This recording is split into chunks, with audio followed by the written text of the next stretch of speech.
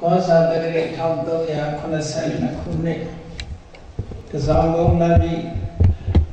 တနေ့နေ့နေ့တွင်စင်ကျမပြုလုပ်အပ်သည့်ဘုံရွာမြို့အောင်မင်္ဂလာရပ်ကွက်တုဒ္ဒရမလံရုပ်တုဆရာကြီးရှုမဝကုတန်ဒေါ်ဆန်မှုထား၍ကြားအပ်သောမညာကောင်းအောင်ကျင့်ဆောင်ခြင်းအကြောင်းတရားဒေသနာတော် ယောကပကောတိဟိပိယပမေယံကာလံကရွန်တော်အတိဒုက္ခရာနိခေရံကတောလောကဟိတယာနာထောနမောမဟာကာရုဏိကတတတယောနာထောဝိနိယမြာစွာတတ္တဝါဤချမ်းသာစီပါလိုလားတောင်းတဂုံပေါင်းခါသည်ဖြင့် နာထမြညာခြင်းရှင်တော်မြတ်ဖရာသည်ကပ္ပဂောတိဟိပိဂရေကဘာအရေးအတွက်သင်္ချာတို့ဖြင့်တော်လဲအဘေမေယံရေအတွက်တိုင်းတာဖော်ပြခြင်းကမစွမ်းနိုင်ပါသောကာလံလေးအသင်ချေသိမ့်နေကဘာရှိကြသောကာလပတ်လုံးလောကဟိတယတတ္တလောကဤအကျိုးစီးပွားအလို့ငါ အတိဒုက္ခရာနိဥ္စာတဲ့ချစ်လက်အင်္ဂါမေတ္တာကြီးမာသမိတာနှင့်တထာဇနီစွန်ញကြီးဟုကျက်တိထဝယ်ငါးသွဲအစုအလွန်ခဲရင်သောအမှုတို့ကိုကရွန်တော်ဖျားဖြစ်ရန်ရည်တန်ကြုတ်ကုတ်အာထုတ်တော်မူရသည်ဖြစ်၍ခေရန်လက်ချေမျက်လုံးအသက်ဆုံးတရဲ့နှလုံးစိတ်ဝံကိုရောဤပင်မညင်းသို့ ကတောဘဝဒါနကျိန်ဖန်များစွာ ရောက်တော်မူခဲ့ရရှာလိပြီမဟာကရုဏီကတတတဝါများယံဝေသားကဲ့သို့တနာချစ်ခင်မဟာကရုဏာရှင်ဖြစ်တော်မူသောတတနာထသဝိနည်းများစွာတတဝါဤချမ်းသာစီးပွားလိုလားတောင်းတဂုံပေါင်းခါသည်ဖြင့်နာထမြညာထိုရှင်တော်မြတ်ဖရာအား နမောယုတိပြောင်းပြော့မှန်ကိုလျောပြီကရောယုကျူးရှိခိုးခြင်းသည်အထုဘဝတု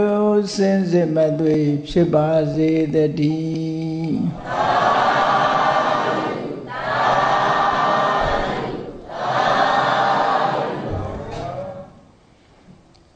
မညံကောင်းအောင်ကျင့်ဆောင်ခြင်း ဘုရားမြတ်စွာဟောကြားထားကြတဲ့သုတ်တန်ဒေသနာတော်တွေထဲမှာဘုန်းကြီးတို့တွေနေ့စဉ်နဲ့အမျှမှတ်ဉာဏ်ကောင်းအောင်ဘယ်လိုလုပ်ရမလဲလောကမှာလောကီနည်းတွေနဲ့မှတ်ဉာဏ်ကောင်းအောင်ဘယ်လိုကျင့်ရတယ်ဆိုတာရှိတယ်ပေါ့ရသော်ဗျာဟောထားတဲ့မှတ်ဉာဏ်ကောင်းအောင်ချင်းဆောင်တဲ့ဤစနစ်ကတော့ လုံးဝမှားယွင်းမှုမရှိသည့်ဖြင့်အခြေအမြစ်ကစပြီးတော့ဟောကြားထားတာဖြစ်တော့အမတန်မှခိုင်မြဲတဲ့ခိုင်မာတဲ့ဤစနစ်တစ်ခုဖြစ်တယ်။တော့ကလူတိုင်းလူတိုင်းဟာဒုဘဝရောက်လာလို့ရှိရင်ပညာသင်ကြားကြရတာကြီးပဲအကုန်လုံး။အလုံးပညာသင်ကြားရတယ်ဆိုတော့ငယ်စဉ်တောင်ကြီးကလေးဘဝကနေသင်လာတဲ့ပညာတွေ မှတ်သားကြရတဲ့အချက်လက်တွေရမယံခါမှာလွယ်လွယ်ကူကူနဲ့မေးလျော့ပြီးတော့သွားတယ်ပြောကြတယ်အေးငါမှမှတ်ညာမကောင်းဘူးမေးလိုက်တာနဲ့လူကြီးတွေညီးတန်ကြားဖို့ကြလိုက်မယ်အဲ့ဒါလို့မှတ်ညာမကောင်းအောင်ဘာကြောင့်ဖြစ်ရတယ်လဲအကြောင်းရင်းကိုစီစစ်ရှာဖွေပြီးတော့မြတ်စွာဘုရားဟောထားတာရှိတယ် ဒါဖြင့်မှတ်ဉာဏ်ကောင်းအောင်တော့ဘလို့ကျင့်သုံးနေထိုင်ရမလဲဘာလုပ်ရမလဲဒါလည်းပဲမြတ်စွာဘုရားကဟောထားတာရှိတော့ကလူတွေကိုနီးကိုဟန်နဲ့တော့မှတ်ဉာဏ်ကောင်းအောင်ကြိုးစားကြတာပေါ့လူဘဝရလာပြီဆိုရင်လူတွေဟာဘာကနေစတော့ဆိုသင်ကြားမှုနဲ့စကြရတယ်ဒါကြောင့်မို့လို့ကလေးလေးတွေဆိုခုခေတ်ဆိုရင်ငယ်ငယ်လေးကစပြီးကြောင်းထားကြရတယ် ငကိုယ်တော့ကတော့မူလတန်းကစပြီးတော့ကြောင်းထားကြတယ်အခုမူလတန်းတော်မကမူဂျူဆိုပြီးတော့ပေါ်လာတယ်နော်လူဘဝရောက်ထာတဲ့ပြိုင်နဲ့သင်ယူမှုဟာစတင်လာကြအဲ့လိုသင်တဲ့အခါမှာမညံဟာအမတမအရေးကြီးတယ်မိဘများကလည်းသားသမီးတွေကိုဆုံးမကြတယ်လေသင်ပေးတဲ့အခါမှာစားရင်သင်တာမဟုတ်ဘူး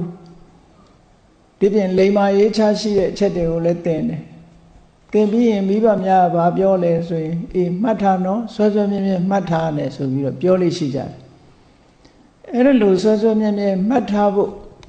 တိုက်တွန်းရတာဘာကြောင့်လဲလို့ဆိုရင်လူဘဝရလာတဲ့အခါမှတ်ဉာဏ်ကောင်းတဲ့ပုဂ္ဂိုလ်ဟာလူဘဝမှာအသွယ်မေဝမ်းကြောင်းနဲ့ပြည့်စုံပြီးတော့ထက်တန်းရောက်နိုင်လို့ပဲ မိဘတွေမိဘတိုင်းဟာမိမိတို့ရဲ့သားသမီးကိုအထက်တန်းရောက်စေခြင်းကြတာချစ်ပဲအောင်မြင်ကြီးပွားစေခြင်းကြတာပဲအဲ့ဒါကြောင့်မလို့လူတိုင်းလူတိုင်းမှာမညံကောင်းအောင်ကျင့်ဆောင်ဖို့အမတန်မှအရေးကြီးတယ်မြတ်စွာဘုရားဟောကြားတဲ့တရားဓမ္မနဲ့ပတ်သက်တဲ့ကိစ္စတွေဟာအမှန်ကတော့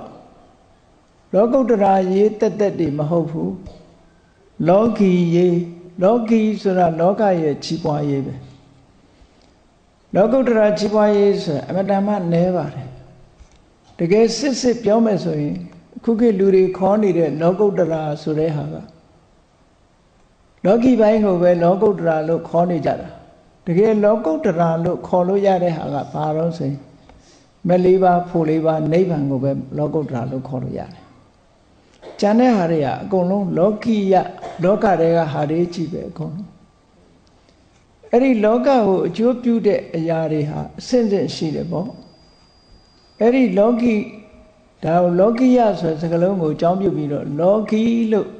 မြန်မာစကားခေါ်ထားတာပေါ့လောကီလို့ဆိုတာလောကကိုအကျိုးဖြစ်ထွန်းစေတတ်တဲ့အချက်လက်များဝါလောကရဲ့ကြီးပွားတိုးတက်မှုအကြောင်းတရားများလောကရဲ့ ကြီးပွားတိုးတက်မှုအတွက်ဆောင်ရွက်ချက်များလို့ဒါတွေကိုသိမ့်ကျုံပြီးတော့လောကီလောကီနဲ့ပြောကြတာပေါ့သို့တော့အတိဘယ်ကိုတချို့ကတမျိုးပေါက်သွားတယ်ပေါ့လောကီဆိုတာလောကီတို့လောကုတ္တရာတို့ဆိုပြီးတော့မြန်မာစကားထဲမှာလည်းပဲဒီစကားလုံးအတိုင်းသုံးကြတယ်အေးလောကကြီးပွားရေးလှုံ့ဆော်နေတာမှန်သမျှလောကီတွေကြီးပဲအဲ့ဒီလောကီကိစ္စတွေထဲမှာ ဒီမှတ်ဉာဏ်ကောင်းဖို့ဆိုတာအမှန်တမ်းအရေးကြီးတယ်ဒါကြောင့်မှတ်ဉာဏ်မကောင်းတာဘာကြောင့်မှတ်ဉာဏ်မကောင်းတာမြတ်စွာဘုရားလက်ထက်တုန်းကဗေဒကျမ်းတက်ဗေဒဆိုလို့ရှိရင်လေမြန်မာလူမျိုးတွေကထင်ကောင်းထင်လိမ့်မယ်လမ်းဘေးမှာဆိုင်းမုတ်လေးထောင်ပြီးတော့ဗေဒင်ဟောတဲ့လူဗေဒလို့ဗေဒင်ဆရာလို့ဒီလိုအောင်းမေးကောင်း ဗေဒကျမ်းဆိုတာအိန္ဒိယနိုင်ငံမှာကျမ်းတစ်ကျမ်းဟာဂါထာတစ်ထောင်လောက်ရှိတယ်ဗေဒကျမ်း၃ကျမ်းရှိတယ်ပေါ့အဓိကကျမ်း၃ကျမ်းရှိတယ်အဲ့၃ကျမ်းထဲမှာနံပါတ်1ကျမ်းကိုဣရုကျမ်းလို့ခေါ်တယ်နံပါတ်2ကယေစုနံပါတ်3ကတာမအဲ့ဒါလို့ဗေဒကျမ်းကြီးတွေထိုခေတ်ကာလတုန်းကတော့ ပညာရေးအနေနဲ့ Brahmin လို့ခေါ်တဲ့ပုံနာတွေကဗေဒကျမ်းတွေကိုသင်ကြားကြတယ်ပို့ချကြတယ်ကျန်တဲ့ပုဂ္ဂိုလ်တွေကသင်လေးမရှိကြဘူးဗြဟ္မင်လူမျိုးတွေကသာလင်ဗေဒကျမ်းကိုသင်တယ်ဗေဒကျမ်းသင်တယ်ဆိုတာသူတို့ကျောင်းနေရတာဘယ်လောက်ရှိတုံးဆို48နှစ်ထိအောင်ကျောင်းနေရနော်ခုခေတ်လို့ဆိုရင်ကျောင်းသားဘဝ48နှစ်တန်နေမယ်ဆိုလို့ရှိရင်ဘာမှလုပ်ကိုင်စားတော့ဆရာတောင်ရှိတော့မှာဟုတ် သူတို့ခေတ်က48နှစ်ထိအောင်ကျောင်းမှာသင်ကြားကြရတယ်တဲ့အေးအဲ့ဒီခေတ်ကတော့လှုပ်ရှားကင်စားဆိုပြီးတော့ပညာလို့သတ်မှတ်တာတော့ဗေဒကျမ်းကြီးတွေပဲအဲ့ဒီဗေဒကျမ်းကြီးတွေတတ်တဲ့ပုဂ္ဂိုလ်မှပညာဓာတ်လို့ဒီလိုသတ်မှတ်တာကျန်တဲ့ပညာရက်တွေရောမရှိဘူးလားဆိုရှိပါထိုခေတ်ထိုခါကာလတုန်းကစေရေးစေရနဲ့ပတ်သက်တဲ့ဟိုပညာရက်တွေလည်းရှိတာပဲပေါ့ ရှေးတုန်းကစစ်တပ်ဖွဲ့စည်းပုံနဲ့ဒီကနေ့ခေတ်စစ်တပ်ဖွဲ့စည်းပုံကအလွန်ကွာခြားသွားပြီခေတ်နဲ့အညီပြောင်းလဲသွားပြီခေတ်ပြောင်းတာနဲ့ဒီစနစ်တွေကလည်းပြောင်းပြောင်းပြီးတော့သွားတယ်ရှေးတုန်းကစစ်တပ်ဖွဲ့တာဗာနဲ့ဖွဲ့တော့ဆိုရင်စင်တပ်တဲ့မြင်းတပ်တဲ့ယထာတပ်ခြေတီတပ်ဆိုပြီးတော့အဲ့လိုဖွဲ့လေရှိတယ်စင်တပ်မြင်းတပ်ခြေတီတပ်အဲ့လို ဖွဲ့တာလည်းပဲသူတို့မှလည်းနီးစနစ်ရှိတယ်ဘလောက်ဆိုရင်တရင်တစ်ခုခေါ်တယ်ဘလောက်ဆိုရင်တမကြီးခေါ်တယ်ဆိုရယ်ခေါ်ဝေါ်တွေသူမှတတ်တတ်ရှိတယ်ပေါ့နော်ရှေ့ကလည်းပဲစစ်တပ်ရှိတာပဲအဲ့ဒီမဲ့အကြီးဆုံးစစ်တပ်လို့ပြောရမှာတော့စင်တပ်ပဲပေါ့စင်တပ်ပြီးရင်မြင်းတပ်မြင်းတပ်ပြီးရင်ယထာတပ်ယထာဆိုတာကတော့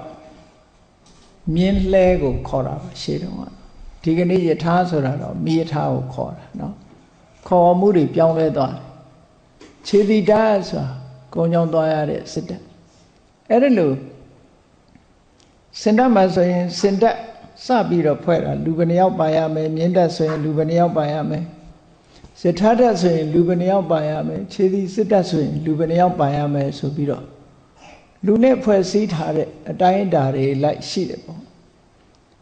အဲ့တော့စီရေးစီရနဲ့ပတ်သက်ပြီးတော့ကျွမ်းကျင်ခြင်းရှင်းတော့ကလည်းပဲသင်ကြားရတာပဲသင်ကြားရတာဘုန်းကြီးတို့စာပေထဲမှာမှတ်တမ်းတင်ထားတာရှိတယ်ဘောဓိမင်းသားဆိုတာဘက္ခတိုင်းကဘောဓိမင်းသားဆိုတာ तू ကစင်စည်းသူရဲ့ကောင်စင်ကိုဘလို့ကင်တွယ်ရတယ်ဘယ်လိုထိမ့်ကွယ်ရတယ်နော် အဲ့ဒါကိုသူအမတန်မှကျွမ်းကျင်တယ်လို့ပြောတယ်စနစ်တကျသင်ထားတော့ဆင်ကိုပိုင်ပိုင်နိုင်နိုင်အသုံးချတယ်မြန်မာရာဆိုရင်ကိုကြည့်မယ်ဆိုလို့ရှိရင်လေဆင်နဲ့စစ်တိုက်ကြတာတွေအများကြီးပဲအင်းဝဒုတိယမင်းကောင်ဆိုလို့ရှိရင်မြင်းနဲ့ပတ်သက်လာလို့ရှိရင်အလွန်ကျွမ်းကျင်တယ်လို့ဆိုတာမြင်းစည်းအတက်12မျိုးလို့ပြောတယ်အဲ့ဒီအင်းဝမင်းကောင်ဒုတိယမင်းကောင်ဟာ မြင်းစီဘလောက်ကျွမ်းကျင်တယ်လဲဆိုလို့ရှိရင်အရှိန်အဟုန်နဲ့ပြေးနေတဲ့ကစုံပေါက်ပြီးတော့ပြေးနေတဲ့မြင်းကိုနောက်ကလိုက်ပြီးတော့တက်စီနိုင်တယ်တဲ့ဒါလည်းသူ့ရဲ့စွမ်းရည်တတ္တိတစ်ခုပဲအဲ့ဒီပြေးနေတဲ့မြင်းပေါ်မှာမတ်တက်ရပြီးတော့စီးပြနိုင်တယ်ဒါလည်းသူ့ရဲ့စွမ်းရည်တတ္တိတစ်ခုအဲ့ဒီမြင်းပြေးနေတော့မယ်မြင်းရဲ့ဘိုက်အောက်ကနေပတ်ပြီးတော့ကြောပေါ်ပြန်တက်တာသူ့ရဲ့စွမ်းရည်တတ္တိတစ်ခုလို့ရာဇဝင်ဖတ်ကြည့်ရင်တော့သိတာပေါ့နော် ဒီလိုစွမ်းရည်တတ္တိရှိအောင်လေ့ကျင့်တာသူတို့လည်းသင်ကြရတာပဲမသင်မဲနဲ့ဘယ်သူမှဘယ်ပညာမှမတတ်ဘူးပေါ့အဲ့တော့ရှေးတုန်းကပညာရက်တွေဟာစွမ်းရည်တတ္တိတွေထက်လာအောင်သင်ရအဲ့ဒါလိုပဲပညာသင်တယ်ဆိုတဲ့အခါဘာကအရေးကြီးနေတာတော့ဆိုမှတ်မိဖို့ကအမတန်ကအရေးကြီးတယ်မှတ်ဉာဏ်ကောင်းဖို့အရေးကြီးတယ် ဒါဖြင့်မှတ်ဉာဏ်မကောင်းတာဘာဖြစ်လို့လဲမှတ်ဉာဏ်ကောင်းတာဘာဖြစ်လို့လဲဆိုတာမြတ်စွာဘုရားလက်ထက်တော်ခါကလာတော့ကသင်္ကာရဝဆိုပုံနာကြီးကဘုရားကိုလာပြီးတော့ရှောက်ဖူးတယ်ရှင်ဘုရားတဲ့တပည့်တော်တို့ဘေရချမ်းနေ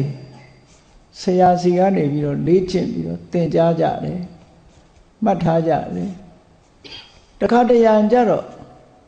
တပည့်တော်တို့ဘယ်အစမှမသိအောင်ပျောက်ကုန် မေ့ကုန်တခါတလေကြတော့လေမှတ်ဉာဏ်လေးကောင်းတယ်လို့ရှိတယ်တခါတလေကြတော့လေမှတ်ဉာဏ်မကောင်းဘူးအဲ့ဒါဘာဖြစ်လို့တော့မှတ်ဉာဏ်ကောင်းတာမကောင်းတာဘာကြောင့်လဲလို့မြတ်စွာဘုရားလျှောက်ထားဘူးတယ်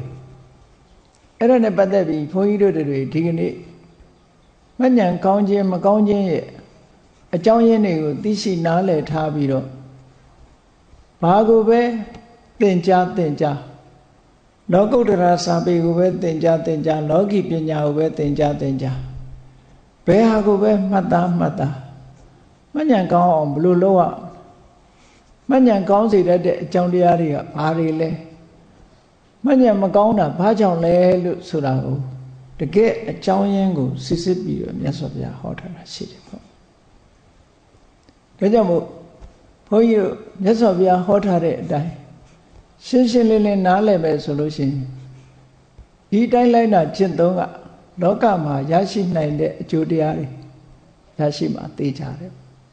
အကျိုးတရားရအောင်ကတော့ကိုယ်ကိုယ်တိုင်ကြိုးစားကြရမှာဖြစ်တယ်အဟန္တာနောက်ချက်တွေကိုဖယ်ရှားဖို့ရကြတော့လေ့ကျင့်ပြီးတော့သင်ကြားကြရမှာဖြစ်တယ်ပေါ့အဲ့ဒီမှာမြတ်စွာဘုရားကဒီလိုမှတ်ဉာဏ်မကောင်းတာဟာဘာကြောင့်မှတ်ဉာဏ်မကောင်းဖြစ်ရတာလဲဆိုတာ ကိုသင်ထားပြီးသားကျမ်းစာတွေသို့မဟုတ်ကိုမှတ်ထားတဲ့ပညာရက်တွေဟာဝိုးတဝါတာဖြစ်ပြီးတော့စဉ်းစားလိုက်ရင်ဉာဏ်ထဲမှာပေါ်မလာဘူးတဲ့။ဘာဖြစ်လို့ပေါ်မလာရတာလဲလို့ဆိုတဲ့အခါမှာမြတ်စွာဘုရားကစိတ်အခြေအနေတွေကိုဖော်ပြထားတယ်။အဲ့တော့အဓိကကတော့စိတ်အခြေအနေတွေပဲ။ကိုယ်စိတ်ရဲ့အခြေအနေတွေကိုပြုပြင်ပြောင်းလဲပေးဖို့လိုအပ်တယ်ပေါ့မှတ်ဉာဏ်ကောင်း။ ကျောင်းသူကျောင်းသားလေးတွေစာကြက်လို့မရဘူး။ကြက်ထားတဲ့စာတွေမေ့လွယ်တယ်ဆို။ဘာကြောင့်လဲ။ဘယ်လိုကောင်းအောင်လုပ်ရမလဲဟောမှတ်ဉာဏ်ကောင်းအောင်လုပ်တဲ့နည်းနဲ့ကိုမှတ်ထားတဲ့အရာတွေကိုယ့်ရဲ့အသိဉာဏ်ထဲမှာရှင်းရှင်းလင်းလင်းပေါ်လာအောင်ဘယ်လိုလုပ်ရမလဲရသော်ဘုရားကရှင်းရှင်းလေးဥပမာလေးနဲ့ပေးထားတာရှိတယ်ဆိုပါတော့ ကိုယ့်မျက်နှာရိတ်ကလေးကိုကြည့်ချင်လို့ရှိရင်ဒီကနေ့ခေတ်မှာတော့လွယ်လွယ်ကူကူဗရာတုတ်ထားတဲ့မှန်ကလေးတွေရှိတော့မှန်ထဲမှာကြည့်လိုက်လို့ရှိရင်ကိုယ့်မျက်နှာရဲ့ရဲ့အခြေအနေကိုရှင်းရှင်းကြီးမြင်ရအေးမှန်မရှိဘူးဆိုရင်ဘာနဲ့ကြည့်မလဲတခြားကြည့်တဲ့နီးလေးတွေရှိသေးတယ်ပေါ့ရှင်းတော့ကတော့တချို့ကမှန်မရှိလို့ရှိရင်ရေခွက်ထဲမှာ ရေစလုံးထဲမှာရေထည့်ထားတော့မှတော့မဟုတ်ရေအိုင်ပေးသွားပြီးတော့ရေထဲမှာအရိပ်ပေါ်လာတာကိုကြည့်မယ်ပေါ့ရေထဲမှာကိုယ့်ရဲ့မျက်နှာရိပ်ကလေးပေါ်လာတာကိုသွားကြည့်လို့ရအဲ့ဒီရေကြည့်လို့ရတဲ့ရေနဲ့ပတ်သက်ပြီးတော့ဘုန်းကြီးတို့တွေစဉ်းစားကြည့်ရမှာပဂရိကြည်လင်ပြီးတော့လှုပ်ရှားမှုမရှိဘူး ညွန်နေပါတွေမရှိဘူးအပေါ်မော်တွေပါတွေမရှိဘူးငြိမ့်နေတဲ့ရေပြင်ထဲမှာရေဆက်နားမှာကိုယ်တိုင်ရက်ပြီးတော့ကြည့်လိုက်မယ်ဆိုရင်ရေထဲမှာကိုယ့်ရဲ့အရေးဟာထင်ထင်ရှားရှားကြီးပေါ်ရတယ်။ဒါမှန်တယ်အရေးဟာထင်ထင်ရှားရှားပေါ်။ဒါဖြင့်ဘာလို့ပေါ်တာလဲလို့မေးလို့ရှိရင်ရေဟာပဂရိကြည်နေလို့ပဲ။ပဂရိကြည်နေတယ်ရေဟာ အေးချမ်းနေတယ်ငြိမ်သက်နေတယ်လှုပ်ရှားမှုမရှိဘူးအနေတွေထိုင်းနေတယ်ဒါကြောင့်မို့လို့ကြီးနေတဲ့ရေထဲမှာကိုယ့်ရဲ့အရေးဟာပြီးပြင်းပြင်းပေါ်လာတဲ့အဲ့ဒါကိုမြတ်စွာဘုရားကဥပမာပေးထားတယ်ထို့တူပဲတဲ့ကိုယ်စိတ်လေးဟာလည်းပဲရေလိုပဲသဘောထားကြည့်လိုက်တခါတရံကြတော့ကြည့်လို့မရတဲ့ရေအရေးမထင်နိုင်တဲ့ရေမျိုးတွေကဘာတွေဖြစ်နေတတ်တုံလို့ဆို ဆိုပါစို့အဲ့ဒီရေဟာမကြည်မလင်ဖြစ်ပြီးတော့သို့မဟုတ်ပဂရိရေစင်မဟုတ်ဘဲနဲ့အဲ့ဒီရေထဲမှာ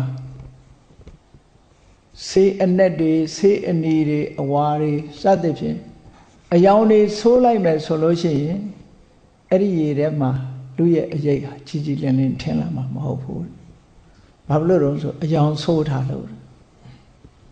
ထို့တူပဲဘုန်းကြီးတို့တွေရဲ့စိတ်ထဲမှာလည်းအယောင်ဆိုးသွားနိုင်အဲ့ဒီအယောင်ဆိုးသွားလို့ရှိရင်သင်ထားတာတွေမေ့သွားတယ်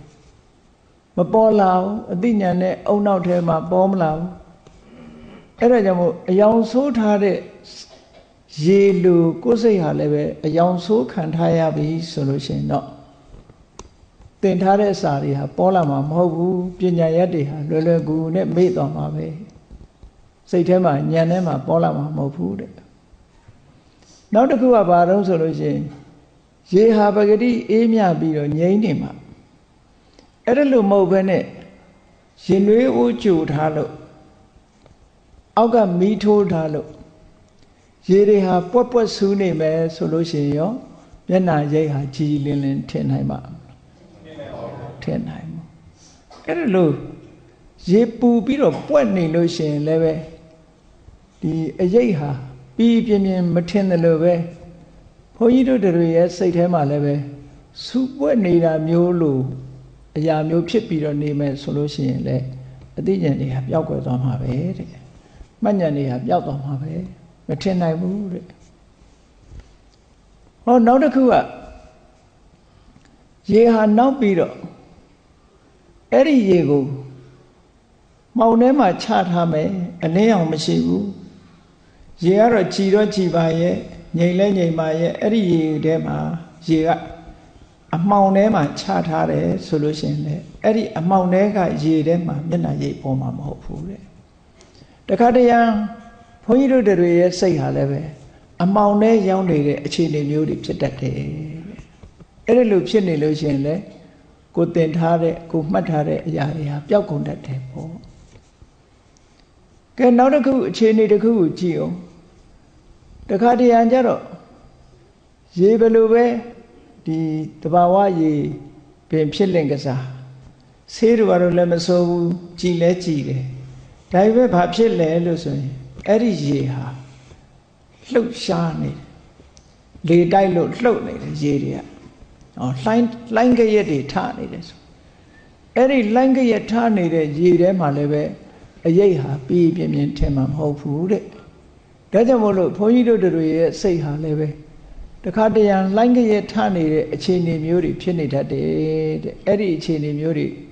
ရှိနေလို့ရှိရင်မှတ်ဉာဏ်ကောင်းမှာမဟုတ်ဘူးအသိဉာဏ်ဟာပေါ်လာမှာမဟုတ်ဘူးလို့ဒီလိုပြောတယ်။အော်နောက်တစ်ခါကျတော့ နောက်ရေရဲ့အခြေအနေတစ်ခုကိုကြည့်လိုက်မယ်ဆိုလို့ရှိရင်ရေဟာဘာတွေဖြစ်နေသလဲလို့ဆိုရင်မော်သေးတွေမော်ညင်းတွေအပေါ်ယံကနေပြီးတော့ရေမျက်နှာပြင်ကို ဖုံးထားတယ်အဲ့ဒါလို့မော်သေးမော်ညင်းတွေရေမျက်နှာပြင်ပေါ်မှာရေညှိတွေဒီလိုမော်တွေဖုံးထားပဲဆိုလို့ရှိရင်လည်းပဲအဲ့ဒီရေဟာစဉ်းစားပြီးတော့ကြည့်မယ်ဆိုရင်အဲ့ဒီရေပေါ်မှာ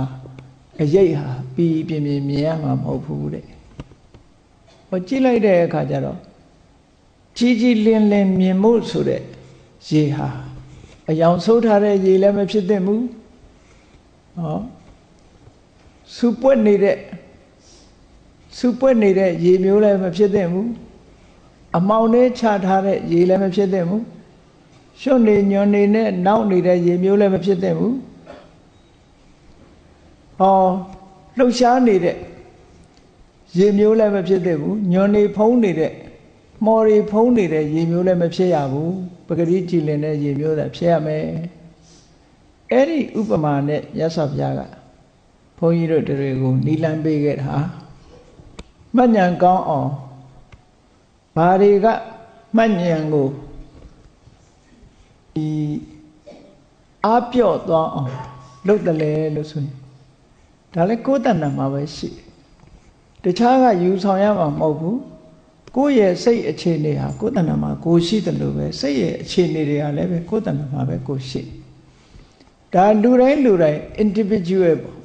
လူတိုင်းလူတိုင်းကိုစီကိုစီကိုယ့်ဟာကိုပြင်ပြီးတော့ယူရမယ့်အခြေအနေတွေကိုပြောတာမြတ်စွာဘုရားတရားတော်တွေဟာအမတန်မှအရင်အမြစ်အဓိကကြတယ်ပေါ့ ဒါကြောင့်မို့တခါပြင်လိုက်လို့ရှိရင်မြတ်စွာဘုရားတရားတော်တွေဟာအရင်အမြစ်ကစပြီးတော့ပြင်ထားတာဖြစ်လို့အမတန်မှစိတ်ချရတဲ့ဤစနစ်အပေါ်ယံကိုဆင်ញင်သုံးသတ်တာမဟုတ်ဘဲနဲ့တကယ်ကို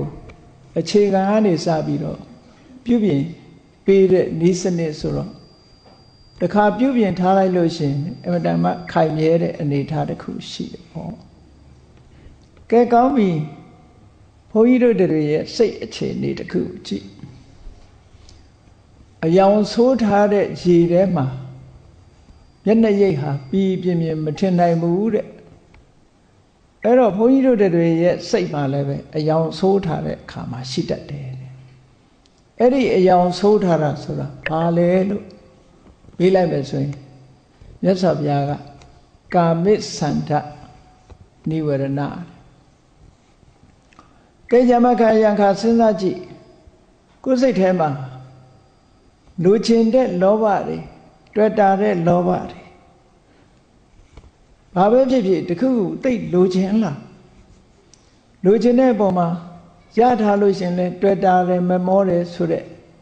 ဒီလောဘတရားလွှမ်းမိုးလာပြီ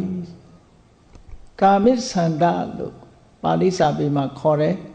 ဆန္ဒဆိုတာလိုလားတာ ကာမဆိုတာလိုချင်စရာအာယုလိုချင်စရာအာယုတွေကိုလိုလားတဲ့တဏှာလောဘကိုကာမိဆန္ဒလို့ခေါ်တယ်အဲ့ဒီကာမိဆန္ဒဟာသူကဘာနဲ့ဥမှတူတော့ဆိုရင်စိတ်ကိုအယောင်ဆိုးလိုက်တာနဲ့တူသွားတယ်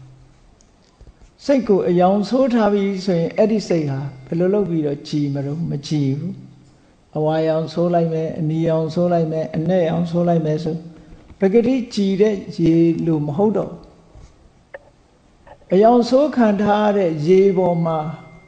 မျက်နှာရိပ်ဟာပြီးပြင်းပြင်းမထင်နိုင်တယ်လို့ပဲဘုန်းကြီးတို့တွေရဲ့စိတ်ကိုလောဘကလွှမ်းမိုးပြီးတဏှာရာကလွှမ်းမိုးပြီးအယောင်ဆိုးထားပြီးဆိုလို့ရှိရင်တော့မှတ်ဉာဏ်တွေဟာအပြော့သွားနိုင်တယ်အဲ့ဒီအချိန်မှာမှတ်ဉာဏ်အပြော့ လောဘစိတ်နဲ့တစုံတစ်ခုကိုတွဲတာပြီးတော့လှုပ်ချင်နေပြီဆိုတဲ့စိတ်မှာကိုယ့်ကိုယ်ဆင်ញင်သုံးသပ်ကြည့်ပေါ့အဲ့ဒီလိုကိုယ့်ကိုယ်ဆင်ញင်သုံးသပ်ကြည့်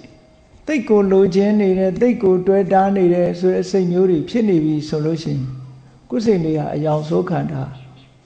ဒါကြောင့်မို့လို့စာကျက်လို့လည်းမရဘူးမှတ်လို့လည်းမရဘူးမှတ်ပြီးသားကြက်ပြီးသားတွေလည်းပျောက်ကုန်တယ်ဆိုတာစိတ်အယောင်ဆိုးခံလိုက်ရပြီဆိုရင်တော့ဒါမျိုးဖြစ်သွားမှာပဲတဲ့ လူချင်းစရာအာယုံကိုလူချင်းမှုပြင်းထန်လာလောဘလို့ခေါ်တယ်လောကလူတွေကလောဘရှိတာဟာအပြစ်မရှိဘူးလို့ထင်တယ်မဟုတ်ဘူးလောဘရှိလာလို့ရှိရင်အဲ့ဒီလောဘနောက်မှာပြဿနာတွေအများကြီးပါလာလူချင်းနေတဲ့အချိန်မှာလည်းပဲစိတ်ဟာတည်ငြိမ်အေးချမ်းမှုမရှိဘူးလူချင်းနာကိုရရင်ရမရဘူးဆိုလို့ရှိရင်ဒေါသထတာဒေါထက်တာပဲတော့ သူ့ရဲ့နောက်ဆက်တွဲကဒါပဲလာမှာပဲလူချင်းနာကိုရပြီဆိုလို့ရှိရင်ဘာဖြစ်မလဲပီတိတွေဖြစ်ပြီးစိတ်မငြိမ်မသက်ဖြစ်မယ်မငြိမ်မသက်ဖြစ်ုံနဲ့ဒီလောက်တင်ပြီးသလားလို့ဆိုရင်လူချင်းမှုရလာတာကိုရလာပြီဆိုရင်အဲ့ဒါအတွက်ကာကွယ်မှုစောင့်ရှောက်မှုဆိုတာတစ်ခါလာပြန်နော်မဆုံးနိုင်ဘူးကိုလိုချင်တာရလာလို့ရှိရင်အဲ့ဒီရလာတဲ့အရာတစ်ခုပျက်စီးမသွားအောင် သူများစီပါမသွားအောင် ပျောက်မသွားအောင်ထိမ့်သိမ်းစောင့်ရှောက်ရတဲ့ဒီတကြောင်တကြားကြဖြစ်နေရတဲ့ဒီဟာကနဲတာမှမဟုတ်ပဲကိုကဲလိုချင်တာကိုမရဘူးဆိုရင်ဘာဖြစ်ပြန်စိတ်ဆိုးပြန်ဟောစိတ်ညစ်ပြန်တယ်စိတ်ဆိုးပြန်တယ်ဆိုဖြစ်လာအဲ့တော့လိုချင်မှုဆိုတာ လောဘ तू ရရင်ရတာနဲ့ပဲကျင့်납သွားလားလို့ဆိုကျင့်납ဘူးနောက်ဆက်တွဲတွေလာတယ်ဒါကြောင့်မို့မြတ်စွာဘုရားကကာမိသန္တနိဝရဏဆိုတာဟာတဲ့ပ ညာကိုအပြော့သွားစေပြီးတော့ခုနကကြည်လင်အေးမြတဲ့ရေကိုအယောင်ဆိုးပေးလိုက်တယ်လို့ပဲစိတ်ကိုအယောင်ဆိုးပေးထားတာအဲ့ဒါလို့စိတ်ကိုအယောင်ဆိုးပေးထားလို့ရှင်ဒီပုဂ္ဂိုလ်ရဲ့မှတ်ဉာဏ်တွေဟာအပြော့သွားမှာပဲစိတ်ထဲမှာဒီမှတ်ဉာဏ်တွေမှတ်ထားတဲ့အရာတွေဟာအကုန်လုံးအားပြော့ပြီးတော့ပြက်ပြက်သွားနိုင်တယ်ဒါဖြင့်ဘာလို့ရမလဲ မှတ်ဉာဏ်တွေကောင်းလာအောင်အားပြော့ပြီးတော့မသွားအောင်ဘာလုပ်ရမလဲလို့ဆိုရင်အဲ့ဒီကာမိဆန္ဒကိုလျှော့ချမဟာတတိပရဏတုတ်မှာနိဝရဏပပဓမ္မာနုပတနာအခန်းမှာမြတ်စွာဘုရားဟောထားတာရှိတယ်ဒီနိဝရဏတွေနဲ့ပတ်သက်လာတယ်နိဝရဏဆိုတာပါဠိလိုပြောလို့စိတ်ရဲ့အဟံအတားတွေလို့ခေါ်တာเนาะနိဝရဏအင်္ဂလိပ်လို hindrances hindrances လို့ခေါ် hinder ကုသိုလ်စိတ်တွေမဖြစ်နိုင်အောင်အသိဉာဏ်တွေပေါ်မလာအောင်တားမြစ်ထားတာဆိုပါစို့ရေမြောင်းနေပါတွေပိတ်ဆို့နေပြီဆိုလို့ရှိရင်ရေမစီးဘူးအဲ့ဒါလိုပဲကိုယ်စိတ်ထဲမှာဒီကမစ္ဆန္ဒဆိုတာပေါ်လာတာအပိတ်အဆို့ကြီးတစ်ခုပေါ်လာတာပိတ်ဆို့သွားပြီဆိုတဲ့ကသူကလမ်းကြောင်းပိတ်သွားဟောလမ်းကြောင်းပိတ်သွားလို့ရှိရင်ဒါ block ဖြစ်သွားတယ်ခေါ် block ဖြစ်သွားပြီဆိုတဲ့ကကောင်းတာတွေဝင်လာဖို့အကြောင်းမရှိတော့ဘူးပေါ့အသိဉာဏ်တွေပါတုံသွားတယ်ကုသိုလ်စိတ်တွေဖြစ်လာဖို့အကြောင်းမရှိဘူးဒီလိုဆိုလိုတာဟုတ်အဲ့ဒါនិဝရဏဆိုအဲ့ဒါကိုပြောတာအဲ့တော့ကာမိသန္တာဆိုတဲ့និဝရဏဖြစ်လာတာနဲ့တပြိုင်နက်စိတ်ဟာညင်နွမ်းသွားတယ်စိတ်ညင်နွမ်းသွားသည့်အတွက်ကြောင့်ခုနကကြက်မှတ်ထားတဲ့စာတွေမှတ်သားထားတဲ့အရာတွေဟာ မှုံဝါပြီးတော့ပျောက်ကွယ်သွားတယ်စဉ်းစားညံနေလည်းပဲအပြော့သွားတယ်ဒါကြောင့်မို့မဟာတတိပဌာနာတုတ်ဓမ္မနုပဒနာအခန်းမှာမြတ်စွာဘုရားကကိုကိုကိုဆင်ញင်သုံးသပ်ရမယ်တဲ့ငါတန်တမှာကာမိသန္တဆိုတဲ့လိုချင်စရာအာယုန်တွေကိုလိုချင်တဲ့သဘောတွေရှိနေသလားကြီးထွားနေသလားဒါတစ်ချက်စဉ်းစားတဲ့ မရှိဘူးလားဆိုတာလဲစဉ်းစားတဲ့ရှိတယ်မရှိဘူးဆိုတော့သိရမယ်ဘာဖြစ်လို့တော့ဆိုရင်ရှိရင်ရှော့ချမယ်ဖယ်ရှားမရှိဘူးဆိုရင်နောက်ထပ်ရှိမလားကြိုးစားထားအဟံတာလုပ်ထားဒါအရာခသိန်းဟာဒီတိုင်းပဲလေရှိမရှိဆိုတာအများတန်းချက်ကင်လုပ်ရတယ်လေမိဖို့ကြောင့်တဲ့တောင်မှဟုတ်လားဆန်ရှိလားစီရှိလားကြည့်ရတာပဲမကြည့်ရင်ဟိုပြဿနာတစ်ခုဖြစ်တာပဲပေါ့ ကျွတ်တင်ပြင်ဆင်မှုဆိုတာရှိရအဲ့တော့မျိုးလိုပဲကိုယ်စိတ်ထဲမှာလည်းပဲဒီនិဝရဏဆိုတဲ့တရားရှိသလားမရှိဘူးလားကာမိသန္နရှိသလားမရှိဘူးလားကြည့်အေးရှိနေတယ်ဆိုရင်ဖယ်ရှားဖို့ကြိုးစားရမယ်မရှိဘူးဆိုလို့ရှိရင်ဖြစ်မလာအောင်ဆုတ်ပိတ်ထားရမယ်ဒါဖြင့်နောက်တစ်ခုကဘာတော့ဆိုရင်ဘယ်လို ရှိနေတယ်ဆိုရင်ဘယ်လိုဖယ်ရှားမလဲဟောရှိနေတယ်ဆိုရင်ဘယ်လိုဖယ်ရှားမလဲနောက်ထပ်ဖြစ်မလာအောင်ဘယ်လိုလုပ်မလဲဆိုဟောဒီအချက်၄ချက်မှာမာသတိပဋ္ဌာန်သုံးပါဓမ္မနုပဒနာအနေနဲ့မြတ်စွာဘုရားကရှုမှတ်ဖို့ကိုယ်စိတ်ကိုဒီလက်ကျင့်မှတ်သားထားဖို့သိအောင်လုပ်ဖို့ဆိုပြီးတော့မြတ်စွာဘုရားဟောတာဒါကြောင့်မလို့ အသိဉာဏ်ကိုအားပြော့သွားစေတတ်တဲ့စိတ်ကိုအယောင်ဆိုးတဲ့သဘောမျိုးဖြစ်တဲ့ဟောဒီကာမိသန္တာនិဝရဏဟာငါစိတ်ထဲမှာရှိနေပြီဆိုလို့ရှိရင်ဘာကြောင့်ရှိနေရတာလဲမရှိတော့ဘူးဆိုရင်လည်းဘာကြောင့်မရှိတော့တာလဲနောက်ထပ်မရှိအောင်ဘယ်လိုလုပ်ရမလဲဆိုတာတွေကိုဘုန်းကြီးတို့တွေသိအောင်လုပ်ရမယ်တဲ့မသိဘူးဆိုလို့ရှိရင်ရှိမှန်းလည်းမသိဘူးမရှိမှန်းလည်းမသိဘူး ရှိလာရင်လည်းဘယ်လိုထွက်ပေါက်ရှာမှမသိဘူးဆိုလို့ရှိရင်ကိုဟာဘာမှမသိတဲ့ပုဂ္ဂိုလ်ဖြစ်သည့်အတွက်ကြောင့်ကာမိသန္တနိဝရဏရဲ့လွှမ်းမိုးမှုခံရပြီးတော့ဒုက္ခတွေဖြစ်နေမှာပဲလို့ဒီလိုဆိုလိုတာเนาะအဲ့ဒါကြောင့်မလို့ကိုယ်စိတ်ထဲမှာဘာတွေဖြစ်နေတယ်ဆိုတာသိအောင်ကြိုးစားဖို့ဒါဖြင့်ကာမိသန္တနိဝရဏကိုယ်တဏ္ဍာမှာရှိနေပြီလူကျင်မှုတွေတတ်မဲ့မှုတွေတွေ့တာမှုတွေ ဆိုပါစို့မျက်စိကမြင်နှစ်သက်စရာအာယုံကိုမြင်နှစ်သက်တယ်နားကကြားပြီးတော့အတန်လေးပေါ်မှာตาရနှစ်သက်နေတယ်နှာခေါင်းကအနတ်လျှာကအရသာခန္ဓာကိုယ်ကအထိတွေ့ဒါဒီပေါ်မှာဆွဲမဲ့ပြီးတရန္တရဖြစ်နေပြီဆိုလို့ရှင်ဒါကာမိဆန္ဒတွေကိုယ့်ရဲ့စိတ်ကိုလွှမ်းမိုးနေတာခေါ်တယ်အဲ့ဒါလို့လွှမ်းမိုးနေပြီဆိုလို့ရှင်ဘာနဲ့လျှော့ချမလဲ မြတ်စွာဘုရားလျှော့ချတဲ့ဤစနစ်တွေကိုအများကြီးပေးထားတယ်ကာမိဆန္ဒဆိုတဲ့လောဘကိုလျှော့ချဖို့ရအတွက်ကတော့တဲ့ပစ္စည်းဥစ္စာအရာခတ်သိမ်းပေါ်မှာကိုကဘာကြောင့်လိုချင်တယ်ဆိုတာဖြစ်နေရတယ်လေလို့ဆိုလို့ရှိရင်ကိုယ်စိတ်ထဲမှာနှစ်သက်စရာလို့သွားပြီးတော့စဉ်းစားမိလို့လိုချင်တာကို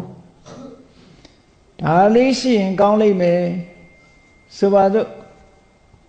အမတန်လှတယ်ကြည်ကောင်းတယ်ဒါလေးရှိရင်စိတ်ပျော်မှာပဲလို့စိတ်ထဲမှာဒီလိုနှစ်သက်စရာအခြေအနေတွေကိုဆင်ញင်စဉ်းစားသည့်အတွက်ကြောင့်ဒီကာမိဆန္ဒဆိုတာဖြစ်လာအဲ့လိုဖြစ်လာရသည့်အတွက်ကြောင့်ကိုယ်စိတ်ကလေးကိုနည်းနည်းပြောင်းပြီးတော့ပေးရမယ်ဒီကာမိဆန္ဒကိုရှော့ချဖို့ရအတွက်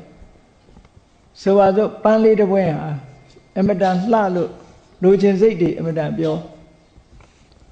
ဥပမာစိတ်ငကကလေးတစ်ခုတိတ်လှတယ်တိတ်လိုချင်တယ်မရမနေစိတ်ကဖြစ်နေတယ်ဆိုရင်ဘယ်လိုစဉ်းစားရမလဲဆိုရင်ဩဘယ်အရာမှမမြဲဘူးဒီနေ့ကျတော့အလုံးပြစ်ထားကြရမှာပဲဆိုတဲ့အတွေးလေးနဲ့ရှင်းကြည့်လိုက် အတွေးလေးနဲ့စဉ်းစားကြည့်လိုက်အဲ့ဒီအတွေးလေးဝင်လိုက်တာနဲ့တပြိုင်နက်ခုနကာမိဆန္ဒဟာရောကျသွားမှာဟို speed ကို reduce လုပ်လိုက်သလိုပဲ high speed နဲ့မောင်းလာတဲ့ကားကို brake အုပ်တယ်လို့ပဲသူ့အဖြေလေးတွေနဲ့သူရှိတယ်လူနဲ့ပတ်သက်ပြီးတော့စိတ်ဝင်စားပြီးတော့နှစ်သက်တွေ့တာနေတယ်ဆိုလို့ရှိရင်လေဩမနှစ်သက်စရာအခြေအနေတွေကိုစဉ်းကျင်စဉ်းစားပြီးတော့ကြည်လိုက်ကိုယ်ခန္ဓာကိုနှစ်သက်နေပြီဆိုလို့ရှိရင်လေကိုယ်ခန္ဓာကိုမနှစ်သက်အောင်စဉ်းစားပြီးတော့ကြည်ငါခန္ဓာကိုယ်ကြီးဟာ နေ့စဉ်နဲ့အမျှရေမိုးချိုဖိလိမ့်နေလို့ခန္ဓာကိုယ်ဟာလူကြားတဲ့ဝင်လို့ဖြစ်နေတာသူ့သဘာဝအတိုင်းပြန်ပြစ်ထားလိုက်မယ်ဆိုလို့ရှိရင်ကိုယ့်ဘကိုယ်တော်နှာခေါင်းပိတ်နေရမယ်အနေထားမျိုးရောက်နေတယ်ဟောနည်းနည်းလောက်အဲ့လောက်စဉ်းစားပြီးတော့ကြည့်ခန္ဓာကိုယ်ထဲမှာသေချာစဉ်းစားကြည့်နှစ်သက်စရာဆိုတာတခုမှမရှိဘူးတဲ့အပေါ်ယံလေးဖုံးထားတာလေးကြောင့်မို့လို့လူတွေကနှစ်သက်တွေ့တာနေတာ အနှစ်သာရဘိုင်းကိုကြည့်မယ်ဆိုရင် အလွန်ယွန်စရာတွေကြည့်ပဲလို့ဒီလိုဆိုလိုတာ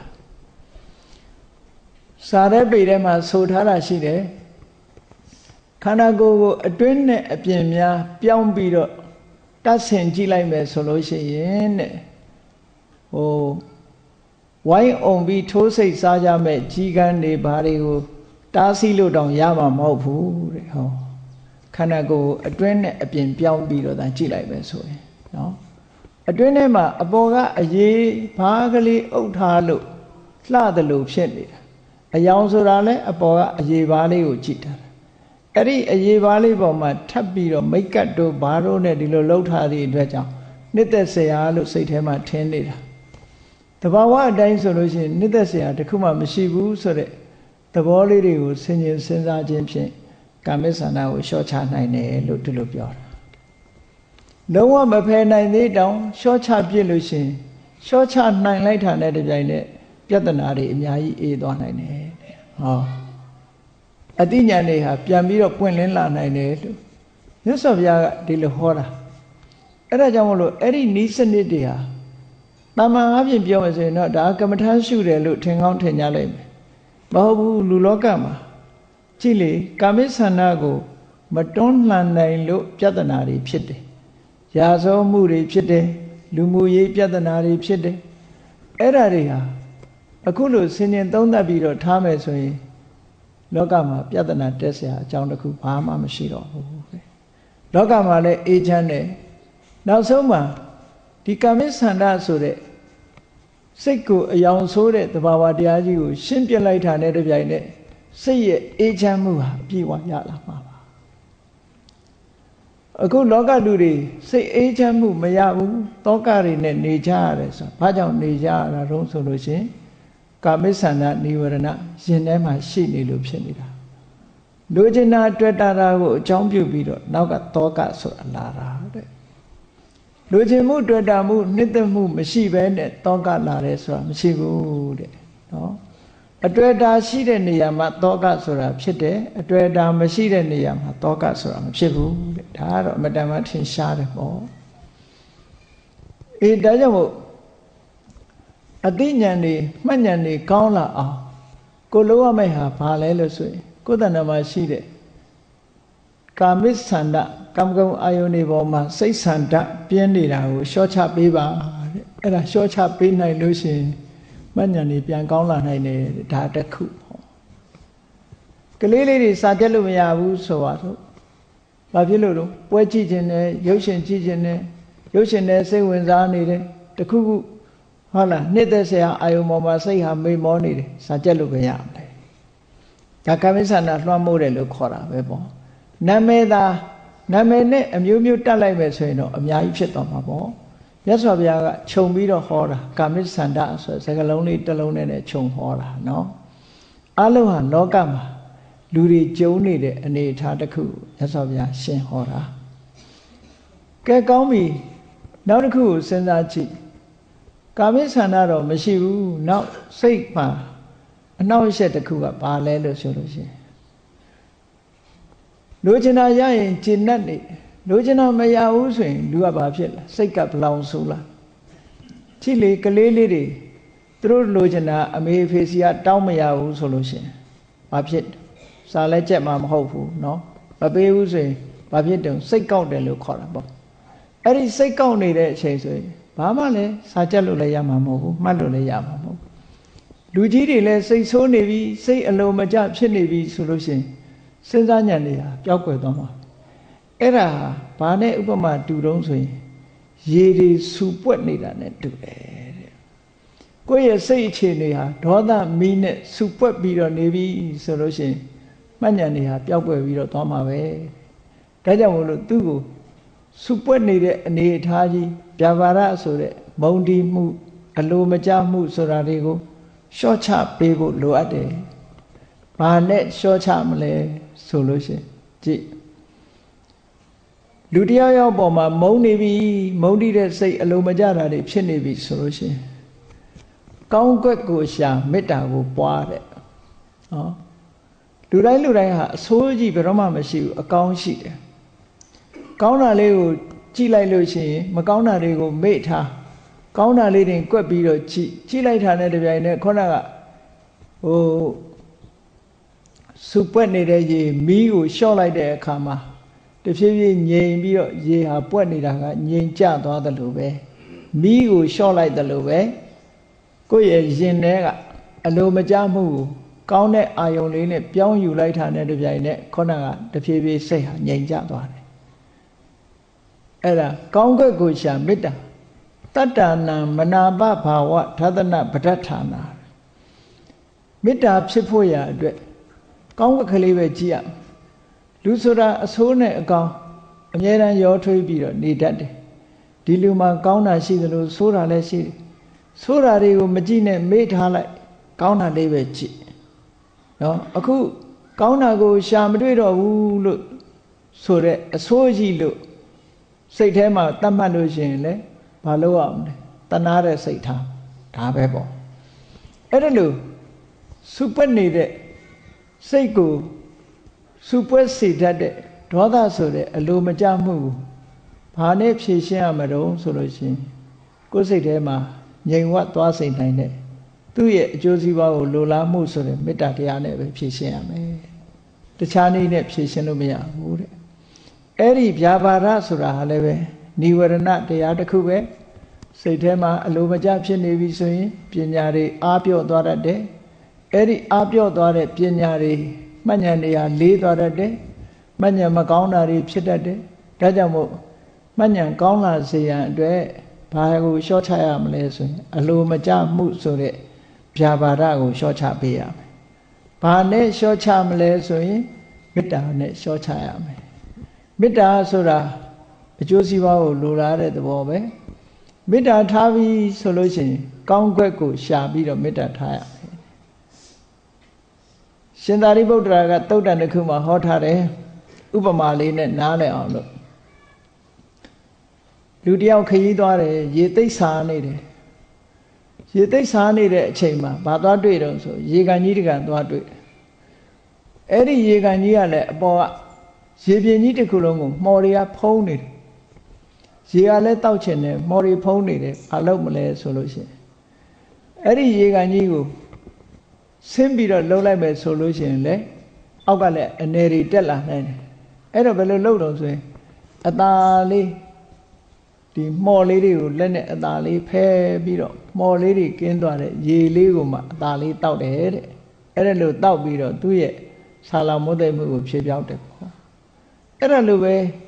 လောကလူတွေဟာအဆိုးနဲ့ကောင်းအပြစ်နဲ့ဂုံဆိုတာရောထွေးပြီးတော့နေတယ် ဒါကြောင့်မို့အပြစ်တွေကိုအသာလေးဖယ်ကောင်းတာလေးကောင်းကွက်ကလေးကိုယူပြီးတော့မေတ္တာပွားနိုင်အောင်ကြိုးစားပါလို့ဒီလိုဥပမာပေးပြီးတော့ဟောတာဟုတ်တယ်လေလောကမှာအပြစ်ကိုကြည့်နေလို့ရှင်တော့ဘယ်တော့မှမေတ္တာထားနိုင်မှာမဟုတ်ဘူး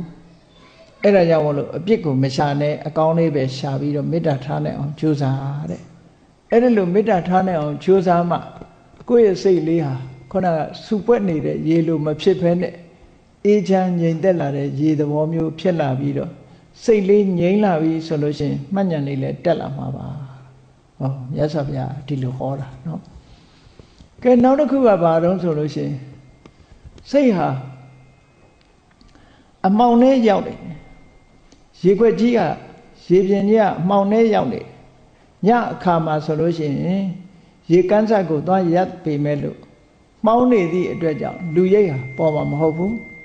အဲ့ဒါမျိုးလို့အမှောင်ထဲရောက်နေလို့ရှင်လည်းမပေါ်နိုင်ဘူးတဲ့အမောင်နဲ့ရောက်နေတယ်ဆိုတာဘာလဲလို့ဆိုရင်လူတွေရဲ့စိတ်ထဲမှာဖြစ်တတ်တဲ့ဌိနာနဲ့မိတ်တာတဲ့ဌိနာဆိုတာစိတ်ရဲ့တွန့်ဆုတ်သွားမှုမိတ်တာဆိုတာစေတသိက်တွေရဲ့အာပြော့တွန့်ဆုတ်သွားမှုတနည်းအားဖြင့်ပြောမယ်ဆိုလို့ရှိရင်နော်စိတ်တွေဟာဒီ အလုံးမလုံးနိုင်တော့ဘဲနဲ့စိတ်တွေဟာရောကျသွားတာစိတ်တွေရောကျသွားရုံနဲ့မကဘူးနောက်ရုပ်ခန္ဓာကိုယ်ပါပဲတောင့်တင်းမှုမရှိတော့ဘဲနဲ့ရောကျသွားတာဒီနှစ်ခုကိုဌိနမိတ်တာလို့ခေါ်တယ်စိတ်မပါတော့ဘူးစိတ်မဝင်စားတော့ဘူးဌိနဖြစ်တာအဲ့ဒါလို့ဌိနဖြစ်လာတာနဲ့တပြိုင်နက်ဘာဖြစ်လာတော့ဆိုစိတ်မဝင်စားရင်လူကနောက်ကနေပြီးတော့ပြင်းလာပြီးတော့အိတ်ငိုက်လာတယ်တို့အိတ်ချင်တယ်တို့ဖြစ်သွားရောဟော အဲ့ဒါလို့ဖြစ်သွားမှုဟာလည်းပဲခုနကစိတ်ဟာဒီအမှောင်ထဲရောက်သွားတဲ့သဘောပဲအဲ့ဒီအမှောင်ထဲရောက်သွားတဲ့စိတ်ဟာဘလို့မှအသိဉာဏ်တွေထင်ဟပ်လာနိုင်မှာမဟုတ်ဘူးတဲ့ဒါကြောင့်မို့အသိဉာဏ်တွေထင်ဟပ်လာနိုင်တာမဖြစ်တော့ကြောင့်အမှောင်ထဲရောက်နေတဲ့စိတ်ကိုဆွဲထုတ်ရမယ်အလင်းနဲ့ရောက်အောင်ပို့ထားအလင်းနဲ့ရောက်အောင်ဘလို့ပို့မလို့ဆိုရင်မအိတ်ချင်အောင်ကြိုးစားတဲ့သဘောပေါ့ဌိနဝိဒဝင်လာရင် စိတ်လန်းဆအောင်ကြိုးစားတဲ့သဘောဒါမအိပ်ရဘူးလို့ပြောတာမဟုတ်ဘူးနော်မအိပ်ရဘူးလို့ပြောတာမဟုတ်ကုသိုလ်ရေးမှာစိတ်မပါတော့ဘူးဆိုရင်စိတ်ပါလာအောင်ကြိုးစားပေးရမယ်လို့ဒီလိုပြောတာနော်စိတ်ပါလာအောင်ကြိုးစားပေးရမယ်စိတ်ကိုလန်းဆက်လာအောင်လေ့ကျင့်ပေးရမယ်အဲ့ဒီလေ့ကျင့်ပေးလာလို့ရှင်ဘယ်လုပ်ပဲလုပ်လို့ကမ္မထမ်းထိုင်တာပဲဖြစ်ဖြစ်ကောင်းတဲ့လုပ်ငန်းတွေလုပ်ရင်စိတ်ဟာလန်းဆန်းတက်ကြွပြီးတော့နေအဲခုခေတ်တော့တရားနဲ့မလုပ်ဘဲနဲ့ စိတ်တက်ကြွတဲ့ဆေးတွေကိုသုံးပြီးတော့လှုပ်တာမျိုးတွေလည်းရှိကြတယ်မဟုတ်အဲ့ဒါမျိုးမဟုတ်ဘဲနဲ့တဘာဝစိတ်ကလေးကိုလန်းဆက်လာအောင်လေ့ကျင့်ပြီးတော့ပေးရမယ်တဲ့အဲ့ဒါလို့လေ့ကျင့်ပေးနိုင်လို့ရှိရင်ခုနကအမှောင်ထဲရောက်နေတဲ့အနေအထားမျိုးမဖြစ်တော့ဘဲနဲ့ကိုယ့်ရဲ့မှတ်ဉာဏ်တွေဟာအမတန်မှလန်းလန်းဆန်းဆန်းဖြစ်လာပြီးတော့ဒီမှတ်ဉာဏ်တွေဟာကောင်းလာနိုင်တယ်တဲ့။ဩထိနာမိတ်တာကိုပယ်ဖြောက်တယ်ဆိုတာဘာနဲ့ပယ်ဖြောက်မလဲလို့ဆိုလို့ရှိရင် စိတ်ကိုလန်းဆန်းတက်ကြွလာတဲ့အာယုံတစ်ခုခုနဲ့ဆိုတော့ကြည်နူးစရာကောင်းတဲ့ဖရာအာယုံနဲ့ဖြစ်စေတရားအာယုံနဲ့ဖြစ်စေအာယုံတစ်ခုခုနဲ့ကိုယ့်ရဲ့ထိနာမိတ်တာစိတ်အာရောကြမှုတွေကိုစိတ်အားတက်လာအောင်လှုပ်ဆောင်ပြီးတော့ပေးတဲ့ဤစနစ်ကိုပြောတာအဲ့ဒါလို့လှုပ်ပေးမယ်ဆိုလို့ရှိရင်မှတ်ဉာဏ်တွေဟာပြန်ပြီးတော့ကောင်းလာမှာပဲလို့ဒီလိုပြောတာဟောနောက်တစ်ခုကဘာလဲလို့ဆိုရင် ဥဒိစ္စကုတ်ကုတ်ဆလို့ခေါ်တယ်စာလို့ကြဥဒိစ္စဆိုတာစိတ်တွေလွင့်လွင့်ပြန်နေတာစုစည်းလို့မရအောင်စိတ်တွေလေးနေတာဥဒိစ္စလို့ခေါ်တယ်ကုတ်ကုတ်ဆဆိုတာတစုံတစ်ခုအတွက်စိတ်ထဲမှာဟိုနောင်တရနေတာပူပန်နေတာစိတ်ထဲမှာပူပန်မှုဖြစ်နေတာအဲ့ဒါကိုကုတ်ကုတ်ဆ အဲ့ဒီဥဒိစ္စနဲ့ကုတ်ကုတ်ဆနှစ်ခုဖြစ်နေပြီဆိုလို့ရှိရင်စိတ်ဟာငြိမ်းချမ်းမှုမရှိဘူးအဲ့ဒီငြိမ်းချမ်းမှုမရှိတဲ့စိတ်ပေါ်လာတာနဲ့တပြိုင်နက်မှတ်ဉာဏ်တွေဟာပျက်စီးသွားနိုင်တယ်မဟုတ်အသိဉာဏ်တွေဟာပေါ်မလာနိုင်ဘူးတဲ့ဒါကြောင့်မို့စိတ်ငြိမ်သက်ငြိမ်းချမ်းမှုကိုပျက်စီးသွားစေတတ်တဲ့ဒီစိတ်လွင့်ပြန်နေမှုလုံမိတဲ့ကိစ္စတစ်ခုပေါ်မှာနောင်တရနေမှုပူပန်နေမှုဆိုတာတွေ အဲ့ဒါတွေကိုပယ်ဖြောင်းရမယ်တဲ့။ဘာနဲ့ပယ်ဖြောင်းရမလဲဆိုရင်အလွယ်တကူပြောရမယ်ဆိုလို့ရှိရင်တော့အဲ့လိုစိတ်ထဲမှာမငြိမ်မသက်ဖြစ်နေပြီဆိုလို့ရှိရင်အေးအေးဆေးဆေးလေး relax လောက်တာမျိုးလို့ပေါ့တဏှာလေးမှာကိုယ့်ရဲ့စိတ်ကလေးကိုအလုံးခန္ဓာကိုယ်ရှော့ချထားပြီးတော့မလုပ်ရမလဲထွက်လေဝင်လေလေးကိုမှတ်ပြီးစိတ်ကလေးငြိမ်အောင်ကြိုးစားတာပေါ့ တမာတိကျင့်စဉ်လေးတစ်ခုကိုကျင့်ရမယ်လို့ပြောတာတမာတိလုပ်ငန်းလေးတစ်ခုလှုပ်လိုက်လို့ရှင်ခုနအနေအထားတွေကိုကြော်လွှားသွားနိုင်ပါတယ်ဒါကလေ့ကျင့်ပေးရမှာပြောတာအဲ့ဒါလို့လေ့ကျင့်ပေးလိုက်လို့ရှင်စိတ်လေးကပြန်ပြီးတော့ငြိမ်သက်လာတယ်အေးချမ်းလာတယ်ဆိုလို့ရှင်ခုနကမှတ်ဉာဏ်တွေဟာပြန်ပြီးတော့ကောင်းလာနိုင်တယ်အဲ့တော့စိတ်တွေမငြိမ်မသက်ဖြစ်နေတာဘာနဲ့ဥပမာတူတုံးဆိုရင်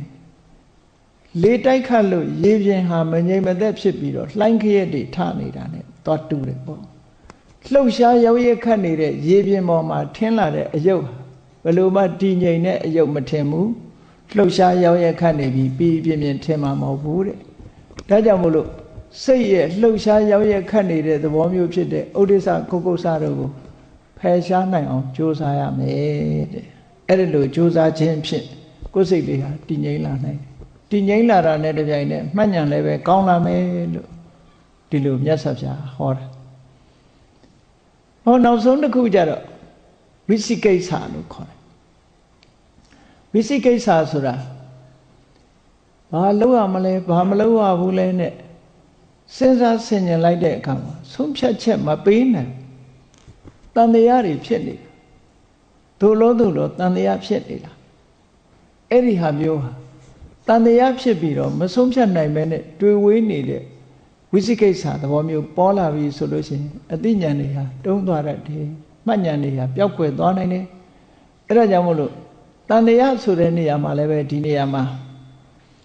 ဟိုဖះဆိုတာရောတကယ်ဟုတ်ကဲ့လားအမှန်တရားကိုဟောတဲ့အတိုင်းလိုက်နာကျင့်သုံးရင်ရောတကယ်အကျိုးရှိရလားဆိုတဲ့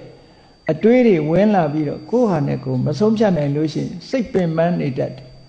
အဲ့ဒါလို့စိတ်ပင်ပန်းတာတန်တရားတွေဖြစ်ပြီးတော့ဒုလောဒုလောတွေးတော်ပြီးတော့ဆုံးဖြတ်ချက်မကြနိုင်မဲနဲ့ဖြစ်နေတာဟာလည်းပဲစိတ်ရဲ့လှုပ်ရှားမှုတစ်ခုပဲအဲ့ဒါဘာနဲ့ဥပမာတူတုံးဆိုလို့ရှိရင်စိတ်ဟာကြည်လင်ပြီးတော့ငြိမ်သက်နေမဲ့အစားရှွန့်နေနွန်နေနဲ့စိတ်ဟာညစ်နူးနေတာနဲ့အလားတရန်တူတယ်အဲ့ဒါလို့စိတ်တွေဟာညစ်နူးပြီးတော့ရှွန့်ညွန်နေနဲ့ရောထွေးနေတဲ့ရေပြင်မှာရုပ် တွင်ဟာမထင်ရှားနိုင်တယ်လို့ပဲဝိသိကိစ္စဆိုတဲ့ရှွန့်ညွန်နေကိုယ့်ရဲ့စိတ်အစဉ်ထဲမှာရောက်နေပြီဆိုရင်လူဟာဘယ်အရာကိုမှ ပြတ်ပြတ်သားသားသိနိုင်စွမ်းမရှိတော့ဘူးတဲ့ဒါကြောင့်မို့အဲ့ဒီဝိသိကိစ္စဆိုတာကိုဖယ်ရှားနိုင်အောင်ကြိုးစားရမယ်အဲ့ဒီလိုဖယ်ရှားနိုင်အောင်ဘာလုပ်ရမလဲလို့မေးလာလို့ရှင်တရားနာရတယ်တဲ့တရားစာအုပ်တွေဖတ်ရမယ်မသိတာတွေကိုမေးရတယ်မြန်းရတယ်အကုန်လုံး မေးမြန်းခြင်းလေ့လာခြင်းစူးစမ်းခြင်းတရားနာခြင်းစာအုပ်စာတမ်းတရားနဲ့ပတ်သက်တဲ့စာအုပ်စာတမ်းအသိဉာဏ်ပေးတာတွေနဲ့ပတ်သက်ပြီးတော့ဆိုလိုတာကတော့လေ့လာရလေ့လာရတယ်မေးမြန်းရတယ်စူးစမ်းရတယ်စာဆိုတာလည်းဖတ်ရတယ်ဖတ်ရုံနဲ့မပြီးသေးဘူးကိုစဉ်းစားထားတဲ့အချက်တွေစဉ်းစားမိတဲ့အချက်တွေကိုမေးရမယ်မြန်းရမယ်တဲ့အဲ့ဒါလို့မှလူရဲ့အသိဉာဏ်ဟာဖွံ့ဖြိုးလာတယ် အသိဉာဏ်ဖွံ့ဖြိုးလာမှဒုလောဒုလောတွေးတောယုံမှခြင်းဆိုတာပျောက်ကင်းပျောက်ကင်းသွားနိုင်ပါတယ်တဲ့ဒါကြောင့်မို့လို့တန်တရားပျောက်ကင်းမှုရာအတွက်မေးမြန်းခြင်းလေ့လာခြင်းစူးစမ်းခြင်းဟာဒါမှန်ကန်တဲ့ဤစနစ်တစ်ခုပဲအဲ့ဒီသင်ယူခြင်းမှတ်နာခြင်းလေ့လာခြင်းဖြင့်ဝိသိကိစ္စဆိုတဲ့စိတ်ရဲ့အညစ်အကြေးတစ်ခုဖယ်ရှားပြစ်လိုက်နိုင်ပြီဆိုရင်အသိဉာဏ်အားလည်းပဲပွင့်လင်းပြီးတော့လာမှာပဲအဲ့ဒီပွင့်လင်းလာတဲ့ အသိဉာဏ်ရှိလာတာနဲ့တပြိုင်နက်မှတ်ဉာဏ်တွေလည်းကောင်းလာမှာပဲလို့ဒီလိုမြတ်စွာဘုရားကဟောတာဒါကြောင့်မို့လို့တရားချစ်ခင်သူတော်စင်ပြိဿတ်တို့အနေနဲ့ဒီနိဝရဏ၅ပါးလို့ခေါ်တဲ့ကာမိသန္တနိဝရဏလိုချင်စရာအာယုန်တွေကိုလိုချင်တတ်မဲ့မှု ပြင်းထန်မှုလိုချင်တာတွေမရတဲ့အခါမှာစိတ်ထဲမှာပြင်းပြင်းပြပြအလိုမကျဖြစ်မှုဗျာပါဒ ထိနာမိတ်ကောင်းတဲ့လုပ်ငန်းတွေမှာစိတ်ဟာလန်းဆန်းတက်ကြွမှုမရှိဘဲနဲ့စိတ်ဆုံနစ်ပြီးရောကြနေမှုထိနာမိတ်ဥဒိစ္စကုက္ကုစစိတ်ဟာလွင့်ပြန်နေပြီးတော့စိတ်ငြိမ်းချမ်းမှုကိုမရတာဝိသိကိစ္စဘယ်အရာကိုမှဆုံးဖြတ်နိုင်စွမ်းမရှိဘဲနဲ့အရာခတ်သိမ်းပေါ်မှာတန်တရားဖြစ်ပြီးတော့ဒိုလောဒိုလောတွေးတော့ပြီးမဆုံးဖြတ်နိုင်တဲ့စိတ်အားပြုတ်မှုအဲ့ဒီသဘာဝတရားတွေကို မလျှော့ချနိုင်သေးသမျှကာလပတ်လုံးဘုန်းကြီးတို့တွေရဲ့မှတ်ဉာဏ်တွေဟာကောင်းလာကြမှာမဟုတ်ဘူးတဲ့အဲ့ဒီသဘာဝတရားတွေကိုဖယ်ရှားပြစ်လိုက်နိုင်ပြီဆိုလို့ရှိရင်မှတ်ဉာဏ်တွေဟာကောင်းလာမှာဖြစ်တယ်ဒါကြောင့်မို့မှတ်ဉာဏ်ကောင်းအောင်ကျင့်ဆောင်ခြင်းလို့ဆိုတာនិဝရဏတရား၅ပါးကိုဖယ်ရှားပြစ်ဖို့ကြိုးစားကြရမယ်ကာမိသန္တာကိုမတင့်မတဲလူပေါ်မှာ တွေ့တာမှုဖြစ်လို့ရှိရင်မတွင့်တယ်မှုကိုဆင်ញင်စဉ်းစားရမယ်ပစ္စည်းပေါ်မှာတွေ့တာမှုဖြစ်ရင်အနိစ္စသဘောနဲ့လျှော့ချရမယ်ဗျာပါဒဖြစ်ရင်မေတ္တာနဲ့လျှော့ချရမယ်ဌိနမိတ်တာဖြစ်လို့ရှိရင်စိတ်ကိုလန်းဆန်းတက်ကြွစေတဲ့အာယုန်နဲ့ပြောင်းပေးရမယ်ဥဒိစ္စကုက္ကုစဖြစ်လာရင်တမာတိအာယုန်နဲ့စိတ်ကိုပြောင်းပေးရမယ်ဝိသိကိစ္စဖြစ်လာလို့ရှိရင်ပညာတိုးတက်လာအောင်မေးမြန်းရမယ်သင်ကြားရမယ်ဟောဒီနီးစနစ်တွေနဲ့ သွားမယ်ဆိုလို့ရှိရင်ဟောဒီនិဝရဏတရားတွေလွှမ်းမိုးမှုကိုမခံရဘဲနဲ့မှတ်ဉာဏ်တွေဟာကောင်းလာကြမှာဖြစ်တယ်မှတ်ဉာဏ်တွေကောင်းလာလို့ရှိရင်ဒီလောကရဲ့အကျိုးတမလွန်လောကရဲ့အကျိုးမိမိကိုယ်တိုင်ရဲ့အကျိုးမိမိမိသားစုမိမိပတ်ဝန်းကျင်မိမိနိုင်ငံရဲ့အကျိုးဆိုရလို့ကောင်းကျိုးချမ်းသာတွေကိုဆောင်ရွက်နိုင်ကြမှာဖြစ်တယ်လို့ကိုစီကိုစီသဘောကျပြီးတော့မြတ်စွာဘုရားဟောကြားတဲ့ ဆုံးမတဲ့တရားအတိုင်းလိုက်နာကျင့်သုံးနိုင်ကြပါစေကုန်သတည်း